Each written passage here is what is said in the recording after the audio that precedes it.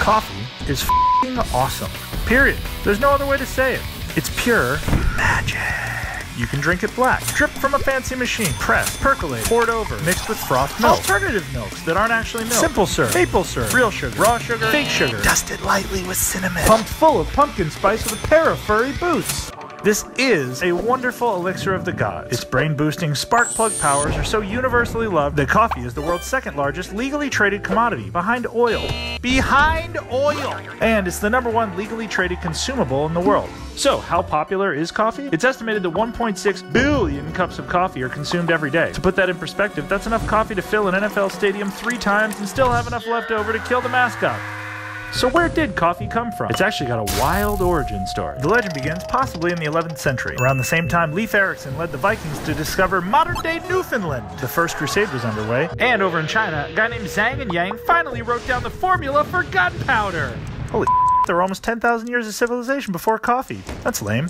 Side note, it all sucked a ton of and no one had any fun. A life without coffee? No thanks. But then, there was a goat herder in Ethiopia! This guy was a genius. One day, he noticed his goats get all excited when they eat this one particular bright red berry. So, he tried the berry himself, and he started getting all excited too. So, he brings the berries to a local holy man. Speculating here, but this guy might have been kind of a d- because the holy man says that the beans are a stimulant, and therefore they're forbidden. Foreshadowing. So, our dude goes home and casts the beans into the fire like a good boy. But then, he smells the inescapably awesome aroma of roasting coffee beans and decides he wants another kick. He grinds up the beans and pours them over some water, and boom, bam, holy we got ourselves the first cup of coffee. Coffee spread throughout the Arab Peninsula, with the first farms located in Yemen, which later spread to Egypt, Syria, and Turkey. Coffee houses then sprouted up, becoming the cultural and political tent poles of cities. Then travelers and traders started to bring the stuff back to Europe. But coffee's arrival in Europe was marked with controversy, much in the way that the bikini, possibly the best invention ever, literally blew people's minds when it first arrived. Anyway, it was kind of understandable why Christian Europe was a little hesitant, as, you know,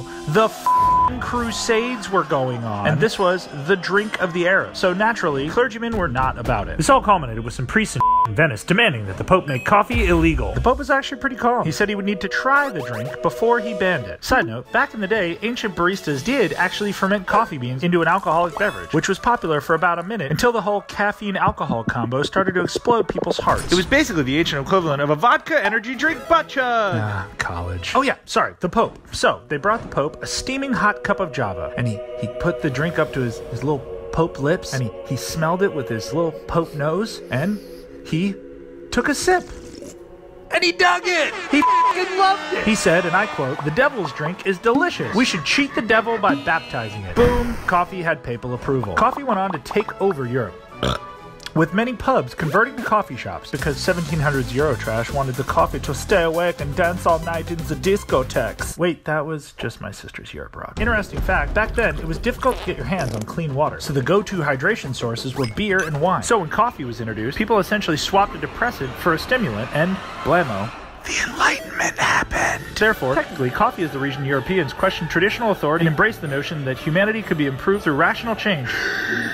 From there, thanks to coffee, we basically got existentialism and democracy. You're welcome. Without it, the only thing to come out of Europe would have been plagues, youth hostels, and techno music. Anyway, in ancient America, coffee first became popular in New Amsterdam, modern day New York. But the story of how the Americas became the world leader in growing coffee is f***ing insane. It's the story of Bean Zero, the first bean to make it to the Americas. In 1714, the mayor of Amsterdam gifted the King of France a single coffee seedling, which grew happily in the French botanical garden. Then, a young naval officer named Gabriel Declieux swiped a clipping of the plant before setting sail for Martinique. The trip was all kinds of terrible. They faced storms, heavy winds, they almost capsized. They nearly ran out of water, so they had to ration. Declieux shared his water with the seedling to keep it alive. Aw, that's sweet. Then, a jealous saboteur tried to destroy the seedling, all before pirate tried to attack the ship. Damn! Talk about a motivation poster. Somehow, Declieux got the plant all the way to Martinique, where that one seedling was used to plant more than 18 million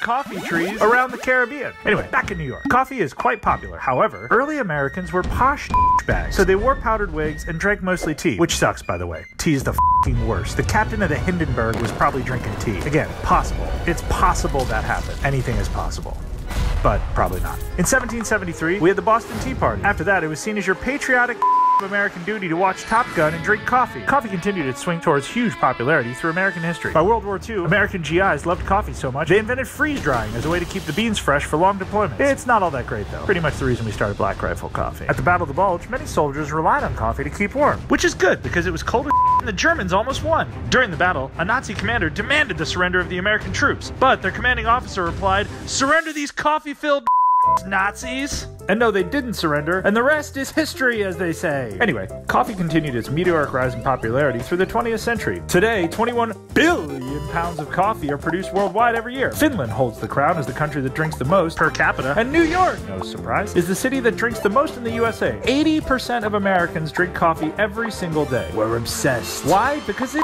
it is amazing. It boosts creativity, leads to higher dopamine levels, speeds up your metabolism, can delay Alzheimer's, reduces the risk of diabetes, and f- up.